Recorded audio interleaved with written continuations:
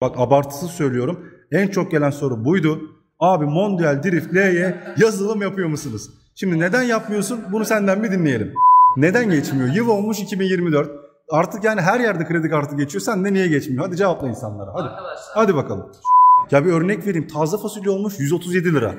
Bak şimdi yazılım videosunun arasında aklıma geldi moralim bozuldu. Size son söylemek istediğim şey şu. Sizi dolandırıyorlar. Arkadaşlar öncelikle videoma hoş geldiniz. Şu an Kocaeli Kartepe'den C6R binle yola çıktım. Gebze'ye doğru devam ediyorum. Daha önce biliyorsunuz ki YouTube Türkiye'de bu motosikletlere yazılım muhabbetini ilk biz kendi kanalımızda duyurduk. Nasıl yapılır, ne olur, motorlar ne kadar güçlenir. Hatta bu motoru da yaptık biliyorsunuz. Şimdi bununla alakalı çok fazla soru geldi. İşte biz bu işlemi nerede yaptırabiliriz, nasıl yaptırabiliriz? Bu işin artıları, eksileri nelerdir? Direkt kendisine soralım. Şimdi benim bir introm girsin. Siz de daha kanalıma abone olmadıysanız bir abone olursanız sevinirim. Hadi birazdan görüşürüz.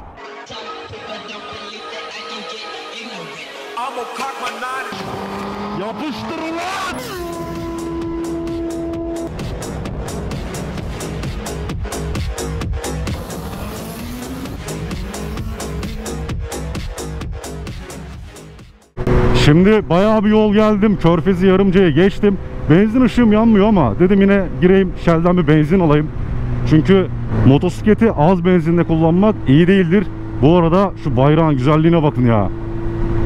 Ne kadar güzel dalgalanıyor. Ben şimdi gireyim buradan bir benzin alayım. Selamünaleyküm. Dostum fullleyelim. Kayıtta mı şu an? Işık yanıyor mu şurada? Yanıyor. O zaman kayıttasın. Valla.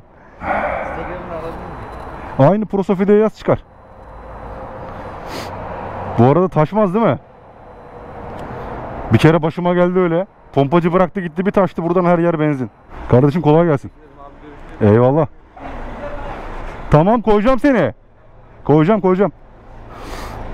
Depomuzu fullledik. Pompacı kardeşimizle de ufaktan bir sohbet muhabbet ettikten sonra yolumuza kaldığımız yerden devam ediyoruz. Çok da fazla bir yolum kalmadı. Aslında şey mi yapalım arkadaşlar ya gidelim. Bu işi yapan arkadaşımız Barış direkt kendi mi anlatsın yoksa yolda giderken ben anlatmaya devam mı edeyim? Ya da dur ben biraz anlatayım. Ondan sonra direkt arkadaşın dükkanda anlatmaya devam ederiz. Şimdi yazılımla alakalı bir 3-4 tane sanırım video çektik. Tabi doğal olarak insanlar ben de yaptırmak istiyorum, nerede yaptırabilirim ya da motoruma ne gibi zarar verir ya da ne gibi artıları olur şeklinde bayağı bir sorular sordum. Ama tabii ki de bilip bilmeden de bu işe muhalefet olan insanlar da oldu. Her neyse biz böyle 3-4 tane motora yazılım attık, onlarla videolar çektik, artılarını anlattık, eksilerini anlattık ama insanlara tam anlamıyla yani akıllarında soru işareti kalmayacak şekilde açıklayıcı bir video çekmedik. E şimdi ben de dedim bugün gideyim Barış'ı bir ziyaret edeyim. Hem de gidiyorken böyle de bir video çekeyim sizlere. Anlatalım bu işler nasıl oluyor. Motorunuza zararı var mı vesaire gibisinden öyle bir kayda başladım. Bu arada arkadaşlar videonun sonunda unutuyorsunuz. Emeğimiz için like atmayı unutmayın. Biliyorsunuz like önemli. Videomuzun genel itibariyle konusu yazılım hakkında bilgilendirme olacak arkadaşlar. Ben şimdi kaydı kapatayım. Birazdan EcoArt Motochip'e gidince Barış'ın yanında tekrardan kayda girerim. Zaten adres bilgilerini vesaire de aşağı yazarım. Bu arada şey de çok merak ediliyor. Ben yazılım yaptırmak istiyorum ama uzaktayım. Nasıl geleceğim falan. Bunların hepsinin cevabını birazdan vereceğiz arkadaşlar. Şimdi kapatıyorum. Siz ara bir çay kahve koyun. Belki videomuz uzun olabilir. Ben de şu an videomuz ne kadar olacak kesemiyorum. Hadi birazdan görüşürüz. Yazılım yapılan motorlar devam ediyor. Ben de EcoArt Motochip'e geldim. Şimdi buranın adres bilgilerini açıklamalar kısmına bırakacağım arkadaşlar. Şimdi yukarıya geçelim. Barış'la beraber çok merak ettiğiniz soruları cevaplayalım. Arkadaşlar tekrardan merhaba. Prosoft kanalındasınız. Yazılım hakkında çok e, sorular geliyordu. Biz de bunları size soru cevap şeklinde yanıtlayalım dedik. Ee, ilk sorumuzdan başlayalım abi istersen. Başlayalım. Şimdi insanların en merak ettiği şey bu EcoArt Motochip nerede? Hangi ilde, hangi ilçede? Adres bilgileri nelerdir? Sen ilk önce bunları bir cevapla ondan sonra devam edelim. Şimdi arkadaşlar EcoArt Motochip Gebze İstasyon Mahallesi 1405 sokak numara 11 diye geçiyor. Ee, hemen yan tarafımızda zaten yurt dışı kargonun dağıtım merkezi var. Zaten navigasyondan da EcoArt Motochip yazdığında adres çıkıyor. Vesaire, adresleri görebilirler. Tamamdır geçelim bir diğer soruya. İnsanların en çok merak ettiği soru bu. Şimdi ben motosikletime yazılım yaptırmak istiyorum. Oraya gelmem mi lazım yoksa nasıl yapacağız? Bu işler nasıl oluyor? Şimdi arkadaşlar bu motosikletten motosiklete değişir.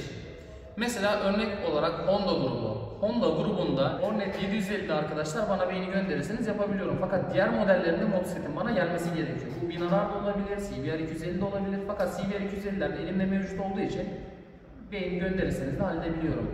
Fakat genel olarak düşünmemiz gerektiğinde örnek veriyorum. Aa, benim Bajaj Pulsar'ım var. Aa, benim NK 250'm var. Aa, benim GSX-R benim var. Ya da GSX-S benim var. Şimdi Honda olduğu için bunu söyleyemiyorum. Evet. Hani bu motorun beynini size kargolasam yapar mısınız?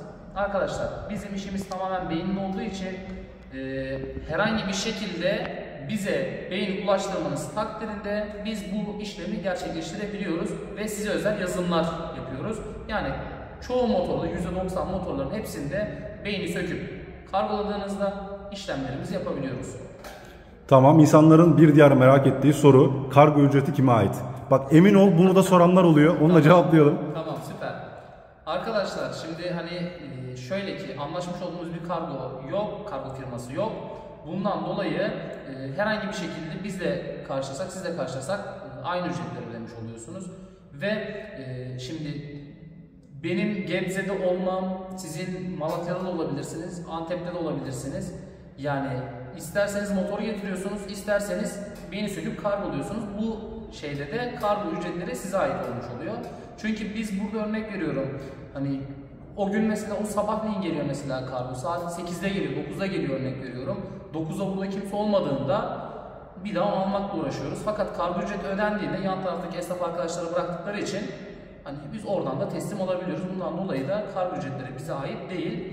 İstiyorsanız gelebilirsiniz, istiyorsanız kargo ücretlerini karşılayıp bize beyni ulaştırabilirsiniz. İsterseniz motokuryeyle gönderebilirsiniz, isterseniz uçakla havadan aşağı indirin yani bizim için e, beynin buraya gelmesi yeterli. Kargo ücretleri de bu şekilde. Peki bir diğer soru. Ben motosikletime yazılım yaptıracağım. Motosikletimin garantisi var. Garantisi bozulur mu? Evet.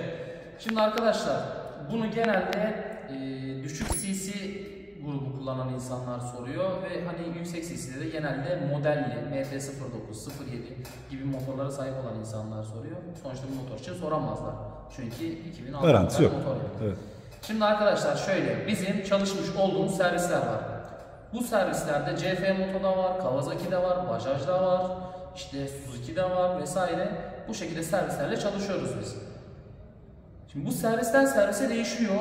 Bu işi sonuçta motosikletine egzoz takınca bile hani garanti dışı kalabiliyor. Servis var garanti dışı bırakıyor, servis var garanti dışı bırakmıyor. Burada ben de bir lafını kesiyorum hacı. Örnek vereyim. Mesela aldın normal ampul var. LED takıyorsun. Elektrik tesisatından bir şey olduğu zaman motor garanti dışı kalıyor. Evet mesela pulsarlarda eskiden bu sıkıntıyı yaşamıştık biz de. Başımıza denk gelmişti. Angel bağlamıştık. Garanti dışı kalmıştı motor. Şimdi arkadaşlar şöyle ki bizim anlaşmış olduğumuz servislere giderseniz isterseniz benim yazılım yaptırdım, şöyle yaptık, egzoz koyduk, böyle yaptık değil. Herhangi bir şekilde garanti dışı kalmaz. Fakat herhangi bir servise gittiğinizde eğer yazılım yapıldı diye söylemezseniz motosikletin beyninden yazılım olduğunu anlayamazlar. E, fakat bazı motorlarda kesme biçme işlemi yapmamız gerekiyor. Örnek veriyorum bu motoru getirirseniz kesmeden yapabiliyorum. Fakat beyni söküp kargolarsanız kesmem gerekiyor beyni. Çünkü OBD üzerinden bağlamıyorsun. Ve e, örnek veriyorum bu motor için konuşuyorum tekrardan. Bu motorun beynini kestik fakat garanti dışı kalmadı motor. Çünkü servisi de çalışıyoruz beraber işbirliği yapıyoruz. Hani bundan dolayı adamlar bizim yaptığımız yazılımlarda herhangi bir şey garanti dışı bırakmıyor. Fakat garanti dışı şu şekilde başımıza bir olay geldi. Bir Pulsar RS200 arkadaşımız bize yazılım için gönderdi. 2023 ilk serilerden de. Bu arada 2023 soruları da çok geliyor bize. İşte 2023 var bende yazılım olur mu olmaz mı? Beyin atmanız gerekiyor arkadaşlar. Hemen e, bir ön bilgi de vereyim size. Arkadaşlar arkadaşımız gidiyor servise yani oradaki usta alıyor, teste sokuyor motoru. İşte biraz dinliyor, ediyor falan. Diyor ki ya motor farklı gidiyor diyor diğerlerinden. Bunda ne var diye soruyor. Nasıl motor böyle gidiyor? Arkadaş da dayanamıyor. Biz buna yazılım yaptırdık diyor. Garanti dışı kalıyor motor. Şimdi böyle olaylar da yaşadığımız için en iyisi bu işte herhangi bir şey sormamak. Direkt gidip bakım yaptırmak istiyorsun. Bakımını yaptır. Bir şey mi arızalandı? Onu yaptırmak en iyi çözüm bu şekilde. Zaten isteyeni de istediği zamanda ücretsiz bir şekilde orijinale çevirdiğimiz için hani örnek veriyorum bir yeriniz kırıldı ya da işte ne bileyim bir yer çatladı, depo bozuldu, pompa yandı, bir şey oldu, servisten bir şeyin değişmesi gerekiyor. Hani zaten bunu anlayamıyorlar ama sizin içiniz rahat etmesi için de biz ücretsiz bir şekilde orijinale çeviriyoruz. O şekilde de yollayabiliyoruz size. Hani bu şekilde bilgimiz olsun yani. Tamamdır. Şimdi çok merak eden sorulardan bir tanesi. Ya kardeşim bir akıllı siz misiniz? Bu motorları üreten insanlar, bu mühendisler bunu daha güçlü hale getirebilirdi. Şimdi sizin bu yaptığınız yazılım motosiklete zarar veriyor kardeşim şeklinde bayağı bir muhalefet eden, bayağı bir böyle karşı çıkan insanlar oluyor. Şimdi isim vermeyelim ama e, bu işte çok güvendiğimiz, sevdiğimiz, saydığımız bazı e, YouTube'a içerik üreten insanlar da bu şekilde söylemlerde bulunuyor. Ama ben şahsen kendim olarak ben yazılım olaylarını tehlikeli görmediğim için e, sen de biliyorsun zaten CSX harbine. Evet 80 bin kilometre CSX harbine yaptık. Şimdi insanlar bunu direkt senin ağzından duysun. Soru bir bu. ikincisi motora bir şey olursa yani yazılım attırdım motor motor yedi. Bu gibi şeyler başına geldi mi onları da insanlara anlatalım. Tabii ki hemen anlatalım. Şimdi arkadaşlar öncelikle e, şimdi yazılım tehlikeli midir, değil midir bundan bahsedeyim size. Arkadaşlar açıkçası yazılım işi riskli bir iştir. Nasıl riskli bir iştir? Şu şekilde. Şimdi yazılım yapmayı bilmeyen bir insan ben yazılım yapacağım dediğinde şimdi avans ayarları vardır, yakıt ayarları vardır. Örnek veriyorum yakıtı çok fazla açarsın. Kırabilirsin motoru, bozabilirsin ya da fakir çalışır motor yine kırabilirsin. Bunun dengelerini sağlamak gerekir. Neyin ne işe yaradığını bilmek gerekir. Motorun mekaniğinden anlamak gerekir. Motorun çalışma prensibini, hangi değerlerle yürüyeceğini bilmek gerekir. Bunlar da tabii ki tecrübeyle e, oluyor ya da işte örnek veriyorum herhangi bir yerden bir dosya alıyorsun, yapıştırıyorsun. Tabii biz böyle bir işlem yapmıyoruz. Her motoru kendimiz yazıyoruz. Fakat şimdi iş motora zarar verir kısmına gelince ben çok videolar gördüm. Ee, bana da çok sorulan sorular var. Yine Pulsar'dan örnek vereceğim çünkü bugüne kadar belki 200 tane yaptık arkadaşlar Pulsar. Ya yazından sonra fan açmıyor, yazından sonra motor yedi, motor kilitledi. Bu tarzda sorular geliyor. Kitler mi, fan açmama yapar mı? Arkadaşlar bunlara direkt kısa net cevap vereyim size.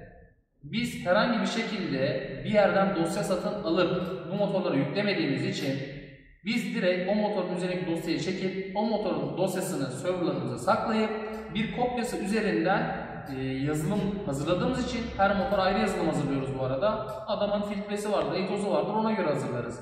Ya da adamın motoru orijinaldir ona göre hazırlarız. Adamın tamamen kullanım açısına göre e, bir yazılım hazırlarız. Örnek veriyorum sürücü kursudur 07 kullandırırlar. Kısılsın derler bize, kısarız. Açılsın derler, açarız. Fakat limitler çerçevesinde. Her motorun bir kapasitesi vardır. Siz gidip kalkıp Pulsar'da derseniz ki bana Barış limitörü iptal et, etmem. Yani bugün dünyalarca para da verseniz bana bunu etmem çünkü kendi adıma leke sürtmek istemem. Herhangi bir pulsar şu anda 12 bin devir üzeri açılıp da kırılmayan pulsar yok. Kırılır yani 12 bin devir bunun limitidir. Biz de 11.500 açıyoruz. 1500 RPM'lik farkla da zaten sizin motorunuz korunmuş oluyor. Yani 11.500 açtığımız motorlarda da bugüne kadar hep 11.500 açtık. Üzerini açmadık. Tabi testlerini de yaptık bunların. Hem en verimli şekilde hem de en güvenli şekilde bu devirleri yakaladık ve bundan dolayı yaptığımız 200 motorlar 200'de herhangi bir şekilde yok fan açmama, yok işte motor kitledi bu şekilde bir sorun yaşamadılar ki yaşamayacaklar da. Hani diğer motorlar için konuşmak gerekirse de R25'te açıyorlar 15.000 devir. Evet R25 15.000 devir destekleyebilir, çevirebilir.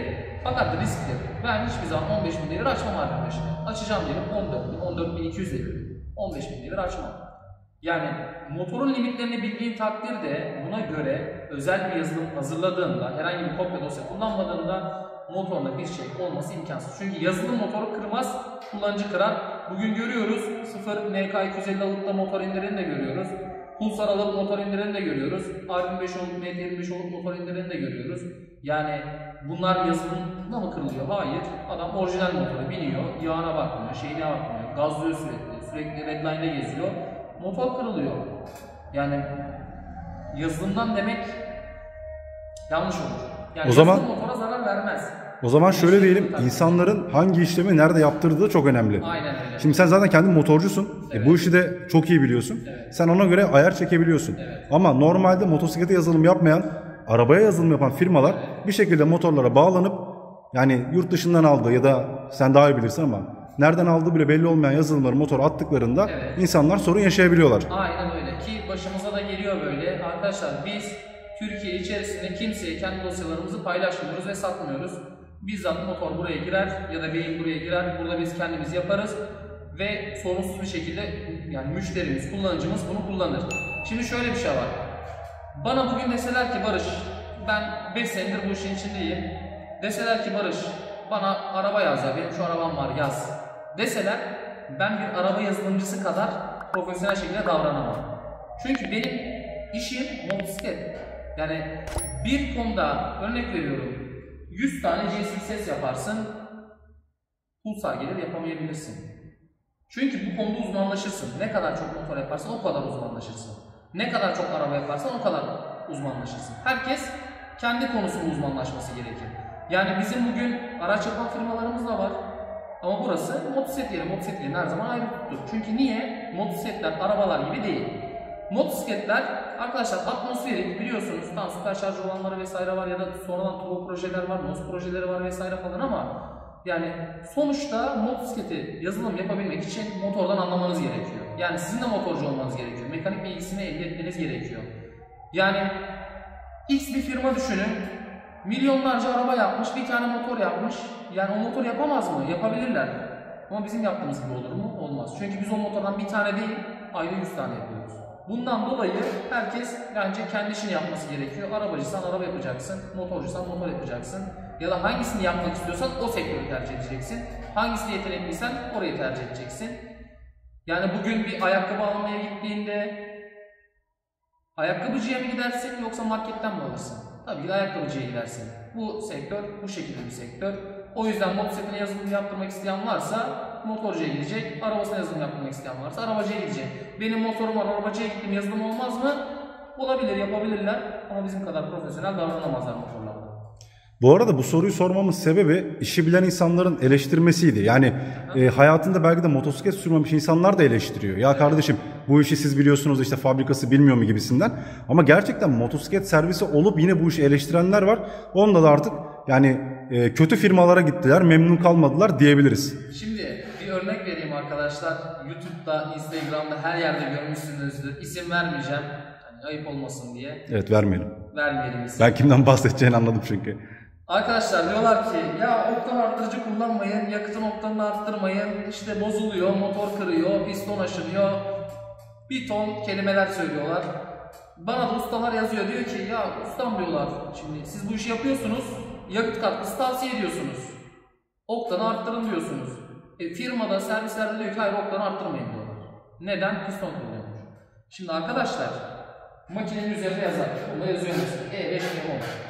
%5 etanol, %10 etanol tarzı. Yani 95 oktan E5 dediği yakıt. Onun E10 yakıtı da işte örnek veriyorum 100 oktan. Şimdi arkadaşlar öncelikle bir okumayı bileceğiz. Açacağız servis kitapçığını. Diyeceğiz ki kardeşim bu adam bizden ne istemiş?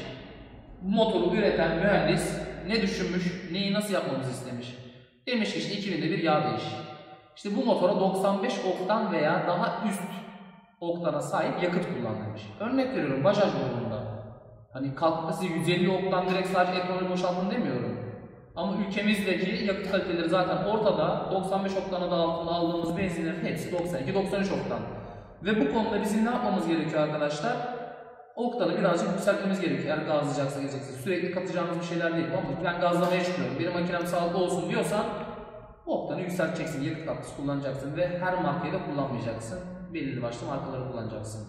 Şimdi şöyle, servis kitapçığını açıp okuduğunuzda zaten size motorla alakalı her şeyi söylüyor servis kitapçığı. Ve diyor ki 95 oktan veya daha üst bir oktan yakıt kullan. E, servislerde diyor ki bize, kardeşim diyor hayır diyor düşük oktan yakıt alacaksınız motora. İşte düşük oktan alırsanız sıkıntı çıkmaz. Arkadaşlar bunun teknik detayına girmeyeyim. Oktan nedir araştırın. Ona göre zaten siz kendiniz ne, ne işe yaradığını öğrendiğiniz için nasıl davranmanız gerektiğini bileceksiniz. Ama en önemlisi servis kitapçıklarını okuyun. İnsanlarda okumayı sevmemek diye de bir şey var. Evet. Bana çok fazla soru geliyor. Abi işte motor aldım, rodajını neye göre yapmam lazım vesaire. Ya diyorum ki mübarek kardeşim bak yanında vermediseler bile sana. ya aç bunun bir kullanım kılavuzunu indir, servis manueline bak. Orada detaylı bir şekilde yazar. Ama insanlar maalesef ki okumayı çok fazla sevmiyorlar. O yüzden e, bu bilgileri verdiğinde iyi oldu. Şimdi geçelim. Seninle beraber bu yazılım işlerine başladıktan sonra bak abartısız söylüyorum En çok gelen soru buydu.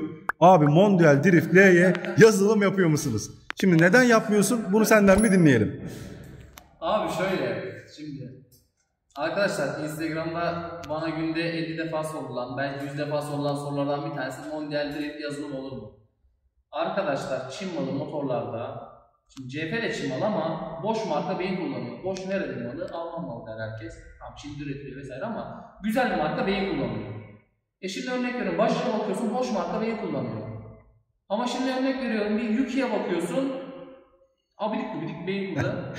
yani internette aratsan bulamazsın yani o beyni. Öyle bir beyin kullanıyor. Arkadaşlar ben oku, okuyamadığım bir şeyi yani içine dosyasını çekemediğim bir şeyi yazılımı yapamam.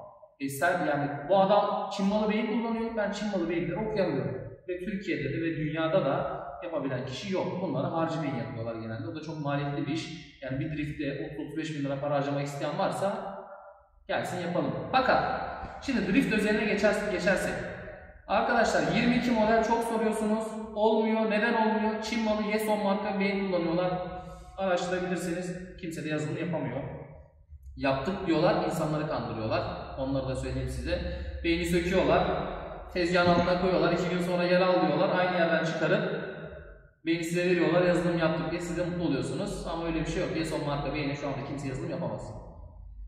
Bir ikincisi 2023 modellerde Delphi Beyin çıkıyor. Evet Delphi Beyin güzel marka, yazılım oluyor. Fakat Delphi'nin hangi beyni çıkıyor? MT-05. Tamam MT-05'leri biz yazılım yapabiliyoruz. Fakat sizin motorunuzda MT-05.3 çıkıyor. 2 olsa yapabiliyoruz ama 3 olduğu için yapamıyoruz. Çünkü okunmuyor beyin. Yani dosyasını çekemiyoruz. Ha bu demek değil ki bir sene sonra olmayacak, iki sene sonra olmayacak. Bu şey demek değil yani hani bugün olmuyor, hiçbir zaman olmaz diye dinlen bir şey değil. Ama bu önümüzdeki sene içerisinde de olabileceği gözükmüyor. Delphi MT-05.3 beyinler için. Ama örnek veriyorum Extreme Max'iniz vardır. Burada 3-4 tane yazdık. Kendi motorumuz da var Extreme Max. Onu da yazdık. Delphi MT-05 beyin kullanıyor ya da 05.2 beyin kullanıyor. İkinci versiyon ya da üçüncü versiyon diye geçiyor bunlar zaten. Bir, birinci versiyon MT-05, ikinci versiyon 05.2, üçüncü versiyon 05.3. Arkadaşlar ilk iki versiyon oluyor, üçüncü versiyona olmuyor. Ya şimdi Mondial Drift kullananların derdi şu. Kesici ben geçen de bir TVS Rider'la Drift'i karşılaştırdım. Drift'in kesicisi 111. Arada bir 112'ye sekiyor ve insanlar biliyorsun yani driftte çok fazla kullanılıyor. Çok fazla tercih ediliyor. E, bu yazılım videolarını da yaptıktan sonra insanlar diyor ki bunu biz de motorumuza yaptıralım. Ama şimdi her sorana da aynı cevap veriyoruz. Yapılmıyor, yapılmıyor. İnsanlar neden yapılmadığını da merak ediyordu. Bu şekilde cevapladığımız iyi oldu. Bunu bu videoda anlatmasaydık şimdi adresini de veriyorduk ya burada. Yani emin ol bütün driftçiler toplanıp camını pencereni kırardı yani bizim motorumuza niye yapmıyorsun diye. Artık o kadar soru geliyor ki hani bazılarını cevaplayamıyorum. Çünkü arada adam örnek veriyorum bir konuda bilgi almak istiyor fakat ben Instagram'dan zaten duyuruları yapıyorum. Diyorum ki kardeşim Mondial Drift bana sormayın şu anda olmuyor. Yapabileceğimiz zaman zaten ben yazacağım. Hani driftleri yapabiliyoruz arkadaşlar artık. Hani yaptırmak isteyen varsa bekleriz tarzı zaten yazacağım. Yani ben keyfime göre yapmıyorum değil. Sonuçta ben bu işten para kazanıyorum. Yani ben niye istemeyeyim ki yapmamak? Drift'e yazılım şu an yapılsa var ya Yani bayağı müşterin olur. Daha fazla ne 100 tanesi. Ama bayağı çünkü bayağı soran var. Elimden gelen bir şey yok arkadaşlar bu konuda. Tamam bir diğer soruya geçelim. Motorumuza yazılım yaptırdık. Yakıtı ortalama yüzde kaç artar? Şimdi arabada bu tam tersi oluyor. Yakıt düşüyor ama motosiklette maalesef ki artıyor. Arkadaşlar, Onu da anlatalım. Motosiklete biniyorsanız yakıtı düşünmeyeceksiniz. İkisi de 1000 cc motor, ikisi de birbirinden farklı yapıyor. Neden? Amaçları farklı. Şimdi senin amacın gitmekse ortada bir yakıt olacak ki gitsin motor. Ama bu dediğim değerler örnek veriyorum. Bunda 0.5 litre ise işte Pulsar grubunda 0.2 litre artar. Ama genelde çoğu motorda bir zengin karışım muhabbeti var. Bazılarında da fakir karışım muhabbeti var. Pulsar'ın eski nesillerinde fakir çalışıyor mesela motorları. Hani bunların ayarlarını yaptığımız için siz oradaki 0.5 şey 0.2 litrelik farkı zaten hissetmiyorsunuz. Yani normal kullanırsanız bu 0.2 litre geriye düşüyor. Gazlarsanız 0.2 litre yukarıya çıkıyor. Ortalama bir kullanımda zaten bunu nötr ediyor ve hani herhangi bir şekilde benim yakıtım çok arttı yazılımdan sonra ya da benim o benim motorum çok az yakıyor artık öyle bir şey yok. Motor ne yakıyorsa onu yakar. Fakat örnek veriyorum popcorn istiyorlar bizden egzoz alev, alev muhabbetlerini bizim insanlarımız seviyor. Ben de seviyorum. Hani şimdi alevin çıkması için yakıtın gitmesi gerekiyor. Popcorn yaparsak bu yakıt birazcık artacaktır ve hissedilir derecede artacaktır. Tabi bu hissedilir dereceden kastım şu. Yazılımla beraber 0.2 yapıyorsa popcorn üzerine eklersek 0.4-0.5 yakacaktır arkadaşlar. Bu çok fazla böyle of içiyor motor, su gibi içiyor tarzı bir şey olmayacaktır. Yakıt değerleri bu şekilde olacak yani. Tamam geçelim bir diğer soruya. Ben motosikletimin olduğundan çok daha fazla hızlı gitmesini istiyorum. O yüzden sadece yazılımla yetinmeyeceğim. Dişli oranlarımı da değiştireceğim. Böyle bir şey yaptığımda mantıklı olur mu diye soranlar da vardı. Buna da senden bir cevap alalım. Şimdi bu motordan motora değişir. Örnek vereyim mi? Örnek N250. N250 yazılım olmuyor abi. Evet. Şimdi ben e, ben hemen şöyle bir anlatayım. N250'nin sahibine ki bana kendisi sordu yazılım oluyor mu diye olmuyor dedim. Dişli oranlarıyla oyna dedim. Kendisi oynamış şu an 170 civarında görüyorum ama keşke yazılım yapılsa motorum daha hızlı gitse dedi. Ben de kendisine şunu dedim yani sen ne olsun istiyorsun motor 200 mü yapsın? Hani bu kadar da fazla bence yüksek hızları düşük cc'de zorlamak mantıklı değil. Size direkt şöyle bir örnek vereceğim. Ne kadar doğru olur bilmiyorum arkadaşlar ama şimdi GSX-R 1000'de dişi küçültürsünüz çok torkunuz, gücünüz düşmez çünkü makine zaten gidiyor. Ya da bu motorda gidiyor. Ama örnek veriyorum bir Pulsar grubunda, bir NK grubunda dişliği küçültürseniz motorda örnek veriyorum kaç kiloyum? Ben 100 kiloyum. 100 kilo bindim motora, gazlıyorum kaç görüyorum? 155 görüyorum diyelim ki. Arkadaşlar dişli küçülttüğümde beni 100 kilo olarak değil 130 kilo olarak adlandırın. Bu 30 kilogram örnek değerler veriyorum. Yani o şekilde bir yavaşlama sağlayacaktır motorunuzda. Ben dişli çok önermiyorum. Motorun orijinal dişisi neyse o olsun. Ya da küçültecekseniz kalkıp da 41 dişten 37 dişe inmeyin. 41 diş varsa 40 diş koyun. Bir diş küçültün. Ya da iki diş küçültün. Ama şu demek değil. Ya benim pulsarım var. İşte yazılım attık. Kaç görüyor? 165 görüyor. Ben bir de bunu 3 diş daha küçülteyim. Kaç görsün? 180 görsün. Öyle bir dava yok arkadaşlar. Onu ancak nerede görürsünüz? Size söyleyeyim. Dimdik, rampa aşağı, rüzgarsız bir ortamda anca ozları görürsünüz. Ben örnek vereyim. Kuzey otobanı tünel içi rampa aşağıya anca orada görebilirsen görürsün.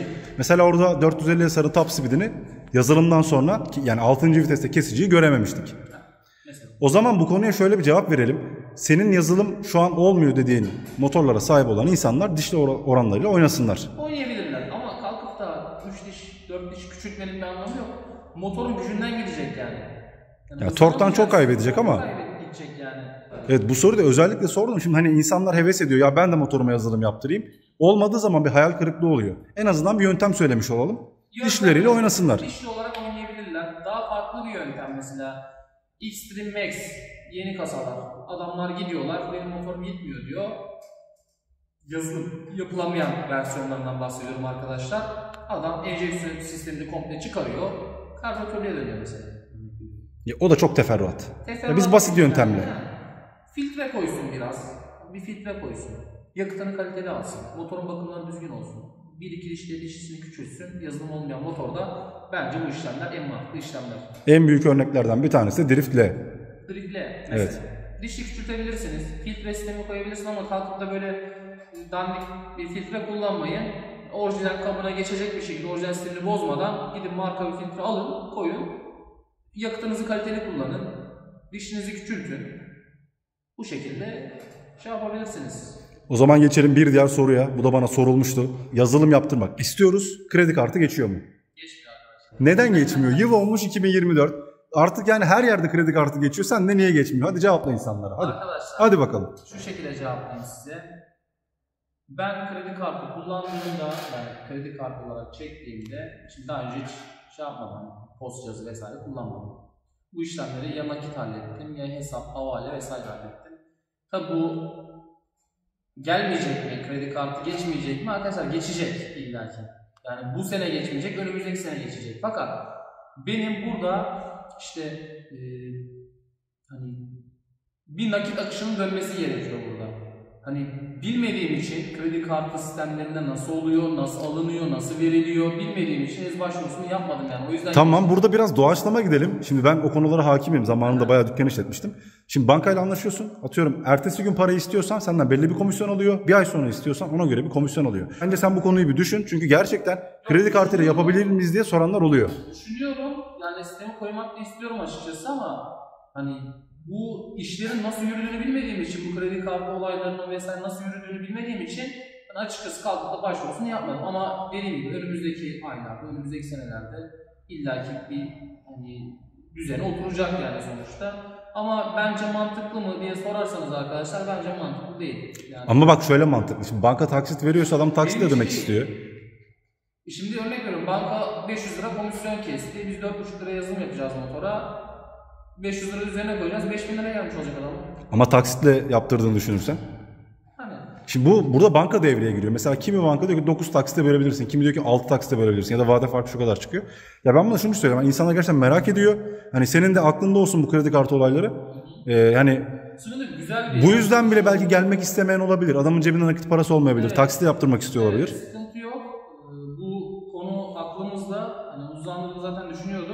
Bu soruyu hiç beklemiyordun ha.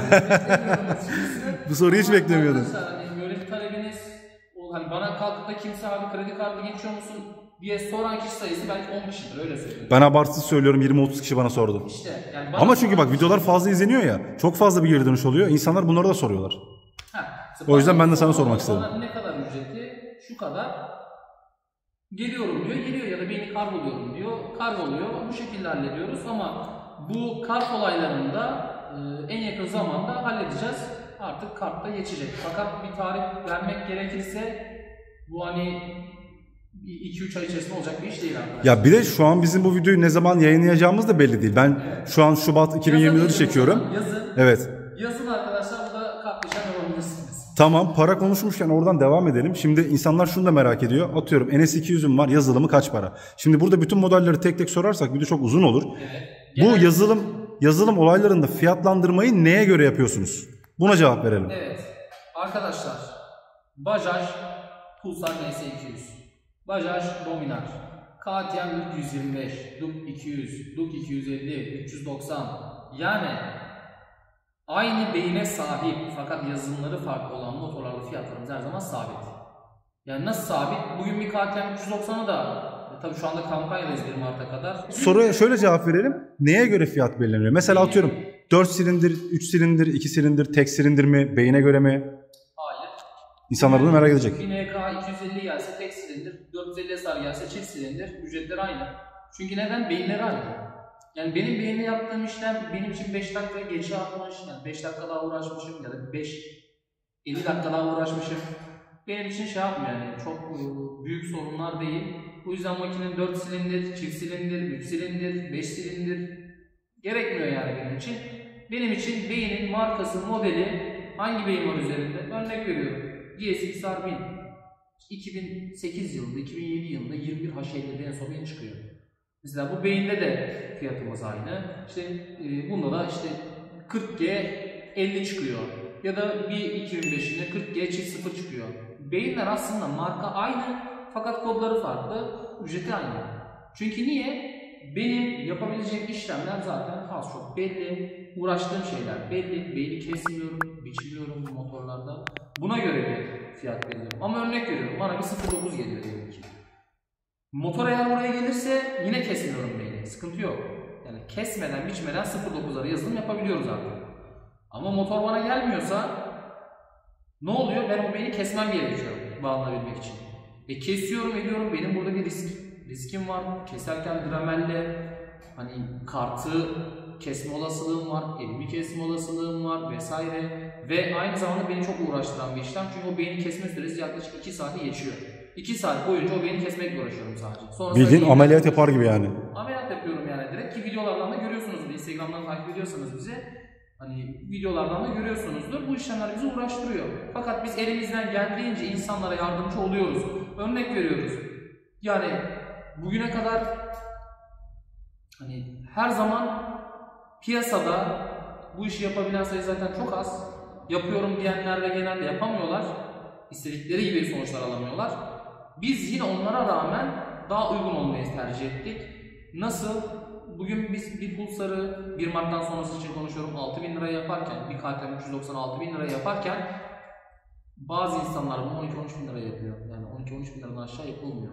Ama ne oluyor? Biz insanlara yardımcı oluyoruz. Çünkü kendine motorcuyum. Yani ben diyorum ki kardeşim bu adam Pulsar'a biniyor. Yani bu adam zaten gücü olsa kalkıp pulsarla uğraşmaz ki koyar üzerine parasını gider. Yani CB 650 alır. Ya da gider işte makineden bir tanesini alır. Ama burada konu şu tamamen beynin markası, modeli, tipi, nasıl beyin, ben onu hangi işlem yapacağım bu şeyler etken oluyor. Aynı beyne sahip olan motorlarda fiyat aynı oluyor. Bugün Benelli TRK 502 de aynı, NK 250 de aynı. İşte eee Benelli mesela TNT'ler var, onlar aynı. Yani bu şekilde oluyor. Aynı beyne sahip fiyatlar aynı oluyor. Motor isterse H2 olsun ama beyni CF motorun beyni çıkıyorsa, boş marka beyni çıkıyorsa Bu bir örnek bu arada yani. Bunu ciddiye alanlar olur şimdi. Motorun fiyatı önemli değil ya da motorun markası modeli önemli değil. Tamamen beyin önemli. O zaman şöyle e, bu konuyu kapatalım. Ben şu an senin hem Instagram hesabın hem telefon numaranı ekrana daha doğrusu videoya girdim. Atıyorum yazılım yaptırmak istiyorlar. Fiyatlarını arasınlar sana sorsunlar. Ama bunları dediğim gibi aradığınız dönem önemli arkadaşlar. Şimdi biz ne zaman yanılacağız belli değil. Şu anki fiyatlar 1 Mart'tan sonra artacak. Ya da ülkede enflasyon nereye gider? Fiyatlar ne seviyeye çıkar? Ya bir örnek vereyim. Taze fasulye olmuş 137 lira. Bak şimdi yazılım videosunun arasında aklıma geldi moralim bozuldu. Arkadaşlar taze fasulyeyi geçen markette 137 liraya gördüm. E şimdi bu adam da ister istemez fiyatlarına yeri geldiğinde güncelleme yapacak. Ülkenin hali ortada. O yüzden motosikletinizin markasını, modelini arayıp ya da Instagram'dan yazıp fiyatını öğrenebilirsiniz yazılım ücretini. Ve şunu da araya gireyim. Önce herkesten bir fiyat alsınlar. Yani yapabilecek olan kişilerden fiyat alsınlar. Sonrasında bizden fiyat alsınlar ki aradaki %50 indirim muhabbetimizi de görsünler diğer yerlere göre. Çok güzel indirim dedin oradan bir yere gireceğim şimdi. Girelim abi. Tamam şimdi insanlar bu videoyu izledi. Evet. Sana geldiler dediler ki ben Prosofi'nin videosunu izledim. Protokol 10 koduyla %10. Şimdi burada insanlara nasıl indirim yapacaksın? Şöyle. Yüzdelik olarak indirim. Yani her motora göre bir yüzdelik verirsen senin zararın olur mu? Şimdi atıyorum 10 bin lira yaptığın yazılımla 5 bin lira yaptığın yazılım arasındaki %10'da iki katı fark oluyor. Sıkıntı yok. Artık burada karar senin. Bak şu an video arkadaşlar doğaçlama gidiyor. Böyle bir şey bak hiç konuşmadık.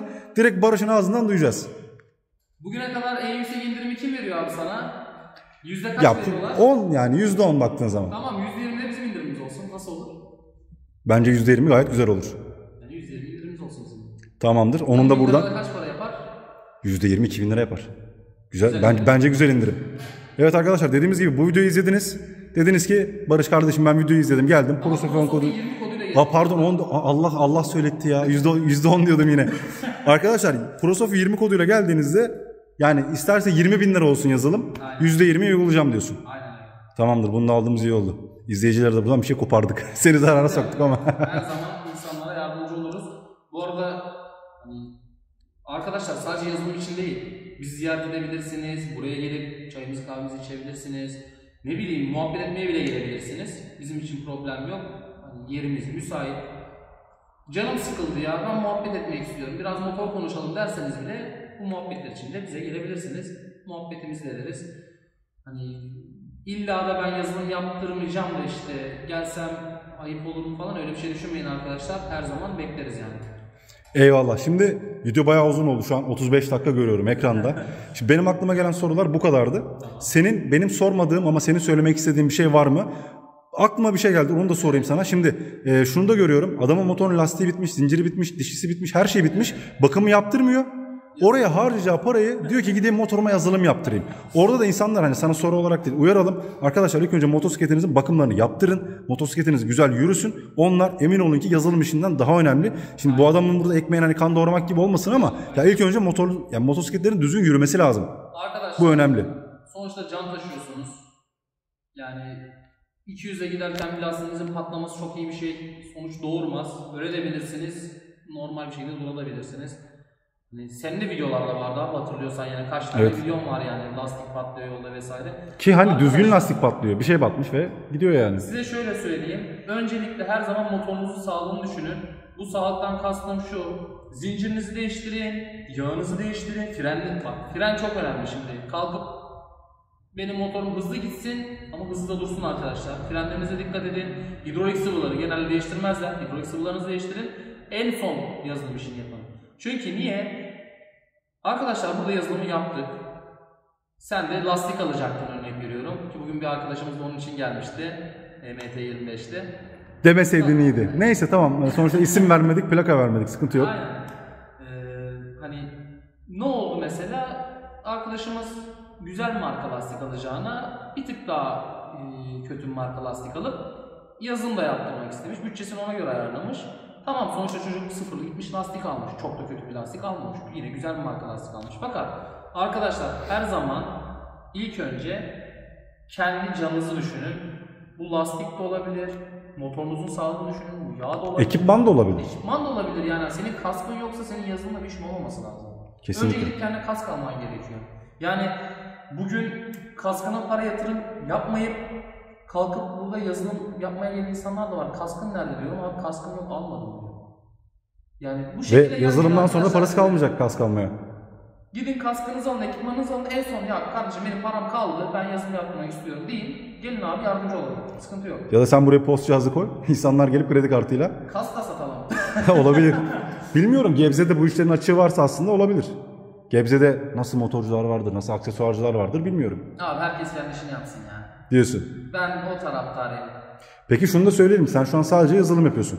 İlerleyen dönemlerde buraya bir atıyorum lift koyup gelenleri yağını da değiştirebilirsin. Böyle bir şey olacak mı? Olacaksa söyleyelim. Bir planımız var arkadaşlar. Çünkü yağ bakımları önemli. Hani bizim biz burada yağ değiştirsek de değiştirmesek de bizim vaktimizi alan bir şey. Hani çok önemli değil ama hani adam gelmişken ben full paket çıkayım, yağımı da değiştireyim, kafam rahat olsun derse yağını değiştiririz ama şu anda bu yaza kadar söyleyeyim. E, Böyle planımız yok ama yazın e, yağ değişimlerine başlarız. Fakat e, şunlarımız olacak, yakıt katkılarımız olacak boktan muhabbetlerinden dolayı. E, Bunlarla tabii raf yapacağız. E, Güzel marka yağ yakıt katkıları kullanacağız. Hani yağdan daha öncesinde benim işime yarayacak olan şeyler yakıt katkıları. Çünkü biz makinelerde avans açıyoruz ve e, ülkemizdeki yakıtlar dandik. Yani 95 oktan aldığın yakıt 92-93 oktan geldiği sürece sen motordan performans elde edemezsin. Çünkü kimisi diyor ki abi benim motorum çok iyi gidiyor. Kimisi diyor ki abi benim motorum kötü. Kimisi gidiyor Shell'den alıyor örnek veriyorum yakıtı. Kimisi gidiyor işte e, abidik gubidik markadan alıyor. Olmuyor yani arkadaşlar. Her yerin yakıtı aynı değil, yakıt kalitesi aynı değil. Bundan dolayı biz buraya bir e, oktan arttırıcı e, güzel markaların yakıt katkılarını koyacağız. Bunları da tabii yazılım yaptığımız motorlarda testlerini de yapacağız. İşte hediyeler vereceğiz yeri gelecek. Yeri geleceğiz ve bunları satacağız da. Hani bu şekilde bir işlem olacak yani burada. Tamamdır. O zaman şimdi son olarak dediğim gibi benim söylemediğim, sormadığım, senin söylemek istediğin bir şey var mı? Tamam. Arkadaşlar size sadece şunu söyleyeyim. Unutmayın. Ben bugün burada sadece motosiklet yapıyorum. Bir arabacı, araba yazılımı yapan insan kişi ya da firma benim kadar motosiklet yazılımı konusunda tecrübesi olamaz. Yani bundan dolayı kalkıp da ya şurada şöyle yapıyorlarmış, burada böyle yapıyorlarmış, bunlara hiç gerek yok. İstediğiniz yerde yaptırabilirsiniz. Bu sizin tabii ki de tercihiniz. Fakat bir insan kendisini ne konuda geliştirmek istiyorsa o konuda uzmanlaşır. Bugün motor yapıyorsak yarın örnek veriyorum bana bir araba getirdiğinde ben bunu yapmayacağım. Ya da bizim araç firmalarımızı yönlendireceğim. Ama en önemlisi demek istediğim şey şu. Arkadaşlar herkes kendi işini yapsın. Arabacıysan git arabanı yap. Motorcuysan git motorunu yap. Ben motorcuyum, motosiklet yaparım. Arabacılar da kalkıp da hani biz şöyle yapıyoruz, böyle yapıyoruz diye atıp sallayıp tutuyorlar. Ki bizden dosya da istiyorlar. Arkadaşlar paylaşmıyorum hiçbir tanesine dosya. Hani herkes en iyisi biziz diyor. Fakat dosyaları genelde e, yurt dışından alıyorlar ya da yapamıyorlar. Sonra beyni söküyorlar, tekrar bana yolluyorlar kullanıcılar. Böyle şeylerle de karşılaşıyoruz ve en önemlisi arkadaşlar size son söylemek istediğim şey şu. Sizi dolandırıyorlar. Bak başlık bile olabilir bu. Evet. Arkadaşlar bir örnek mesaj çok geldi bana. İşte konuşmalarda oldu vesaire. Abi motorum var. Benelli TRK 502'm var. Hacı bu arada Benelli'den reklam mı aldın ya? Bütün, bütün Abi örnekleri Benelli- Benelli'den veriyorsun. En çok dolandırılan kişiler bunlar. Yok şakasını diyorum evet. X marka motorum var diyeyim ya tamam. Tamam. Yok işte biz yazılım yapıyoruz diye gidiyorlar abi. Beyinlerini söküyorlar. Diyorlar ki iki gün sonra gelin. Aynı beyni çıkarıyorlar, geri veriyorlar, yazılım yaptık. insanları kandırıyorlar. Ben de burada insanları biraz uyanık olmaya davet ediyorum. Şimdi bak mesela Yaptırdığınız işlemi bilin. Yapıyor bu adam? Ne ediyor?